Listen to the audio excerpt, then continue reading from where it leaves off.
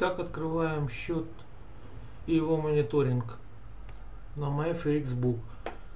У нас стоит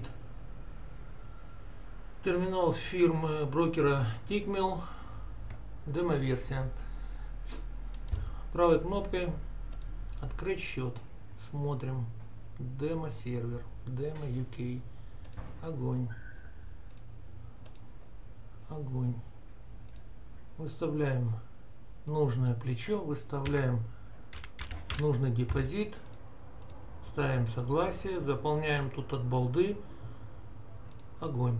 У нас появился счет.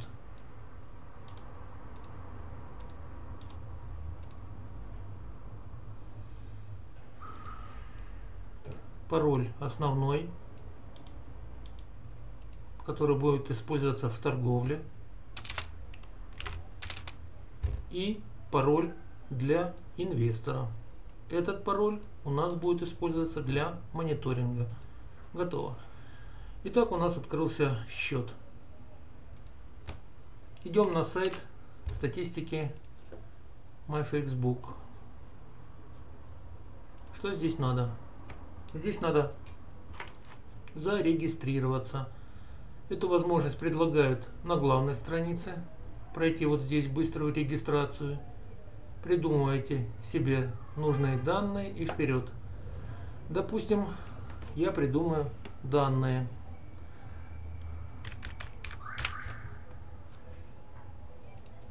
Электронную почту создать не проблема. Здесь не обязательно настоящую указывать. Вот у нас электронная почта. Я придумываю пароль. Подтверждаю пароль. Ввожу контрольные знаки. Соглашаюсь. Пароль не совпадает. Так. Повторим.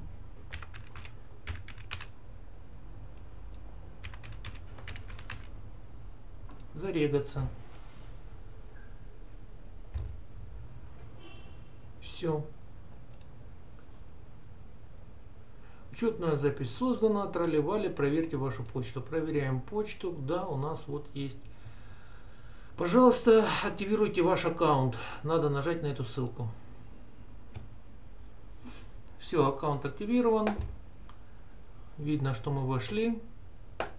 Начинаем вот с этой кладочки. Добавить счет. Добавить счет. У тех, у кого МТ4, выбираем вот этот последний пункт.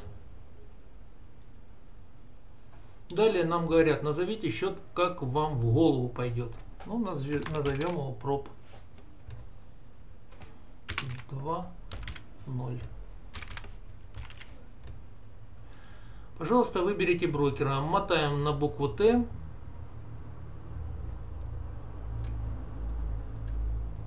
Ищем нашего брокера.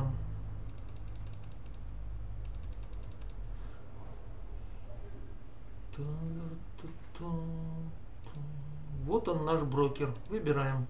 Здесь меняем на демо сервер, потому что демо счет требует демо сервера. И вводим наши номер счета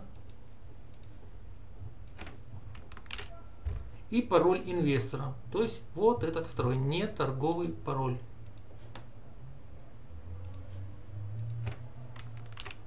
Нажимаем Create аккаунт, создать аккаунт.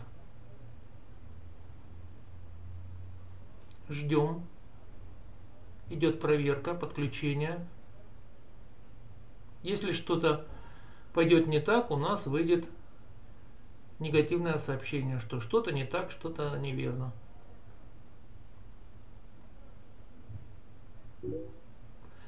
Если у нас все удачно, у нас выходит всплывающее сообщение с поздравлением, и здесь вот эта галочка говорит, что процесс завершен. Дальше мы можем увидеть первоначальное состояние нашего счета. Этого мало, нам надо открыть счет, чтобы его видели остальные. Делается следующее. Еще раз зайдем в раздел «Добавить счет». Здесь мы видим, что он у нас приватный. Нам его надо открыть. Нажимаем кнопку «Редактировать». Опускаемся вниз и выставляем все пункты в разделе «Общедоступный».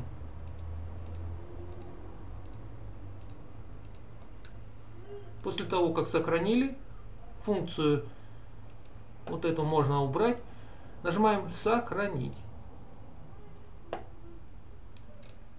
Этого мало. Видите, у нас поменялся счет на общественный. Идем дальше в раздел «Приглашения». Выбираем название нашего счета. Мы его называли проб 2.0. И то же самое проделаем здесь.